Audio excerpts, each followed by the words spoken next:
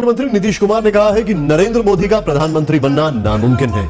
ये टोली लगातार कह रही थी पहले अगर बीजेपी मोदी को घोषित कर देना तो पूरी बीजेपी खत्म हो जाएगी। मैं आपको वायदा करता हूँ वायदा करता हूँ कि इस 21वीं सदी में नरेंद्र मोदी कभी भी देश के प्रधानमंत्री नहीं बनेंगे। नहीं बनेंगे नहीं Ladies and gentlemen, Prime Minister of India.